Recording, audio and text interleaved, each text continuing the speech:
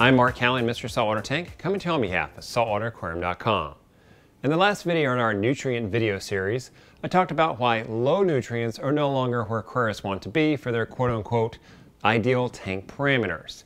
And to fully understand why, I gave a call over to Dr. Tim.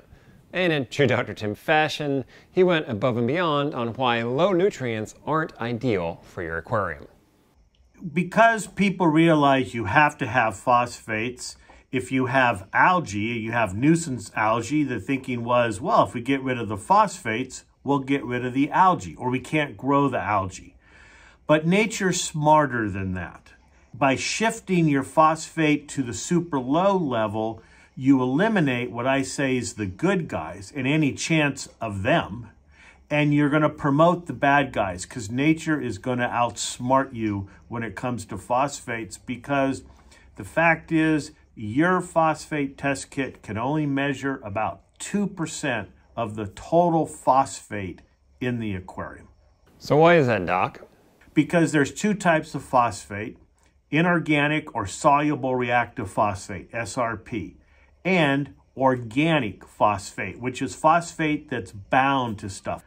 So the organic is 98% of the total phosphate in the system that's bound to something, bound to organic molecules generally. And your fish aquarium, of course, is full of organics. Fish waste, uh, out, dead algae, all that material is full of this organic phosphate that other organisms can get to. Other organisms like cyanobacteria and dinoflagellates can remove the organic phosphate from what it's bound to, but you can't measure it. So even though my test kit says zero phosphates, my aquarium can look like garbage because there's still phosphates in the system. Exactly. You, you can't test for that soluble reactive phosphate because who uses the soluble reactive phosphate? Bacteria that are in the water. Cyanobacteria are bacteria, but they're forming a film. You know, they're on the on the surface but their competitor is like the waste away or ecobalance, these free swimming bacteria that are in the water.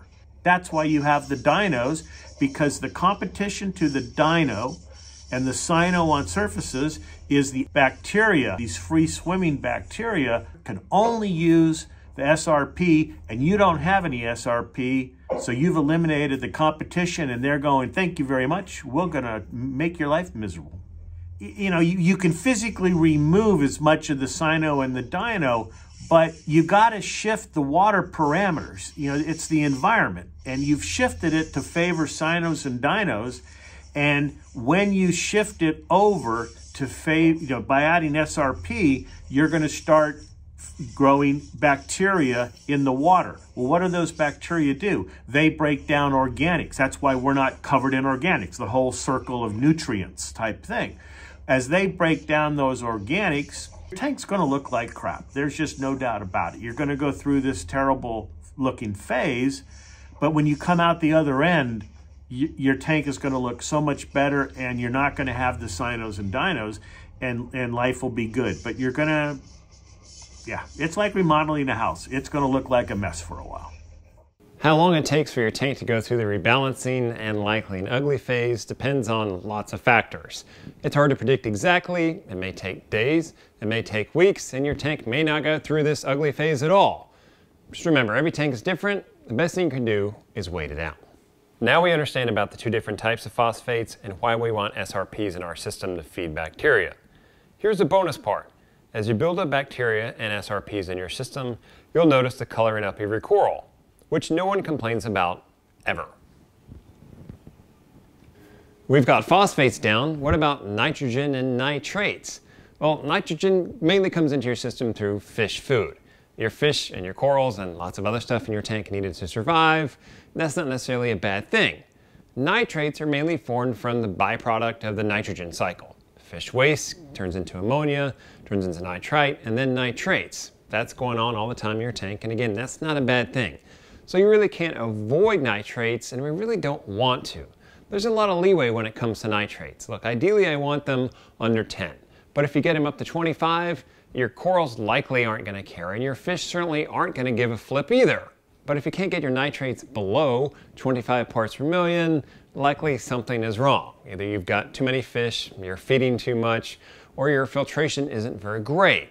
But overall, nitrates got a wide range to operate in. Phosphates, not so much. Now we understand nitrates and phosphates and why Dr. Tim and I prefer a system with lots of bacteria running around the tank. In the next episode, we're going to take a look at refugiums and why they're not that great of a nutrient export method. So until next time, I'm Mark Callahan, Mr. Saltwater Tank, coming to you on behalf of saltwateraquarium.com. I'll catch you in the next episode.